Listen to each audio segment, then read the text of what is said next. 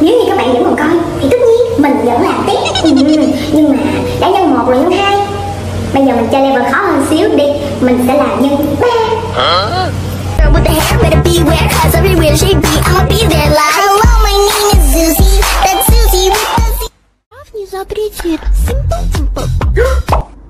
Cả hai clip đều được triệu tim. Hmm.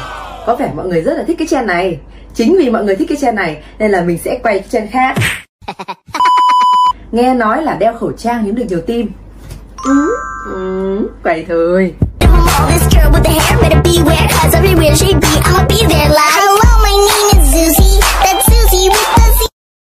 Chị nhảy trend này kèm theo biến hình đi ạ. Khoản nhảy này tên biến hình là auto nhiều tim. Biến hình đi biến hình đi chị, biến hình đi chị, biến hình đi, biến đi hình đi, biến đi.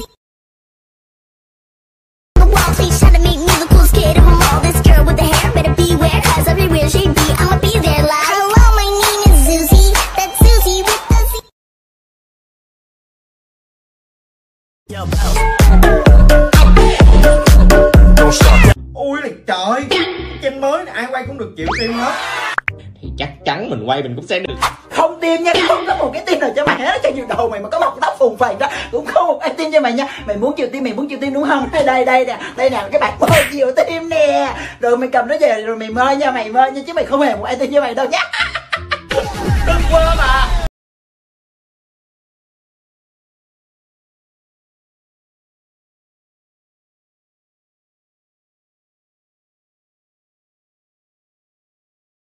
Better beware, cause everywhere she be, I'ma be there like Hello, my name is Susie, that's Susie with the Z. Anh mặc váy mặc váy, anh mặc váy sẽ váy sẽ cơ tim hơn.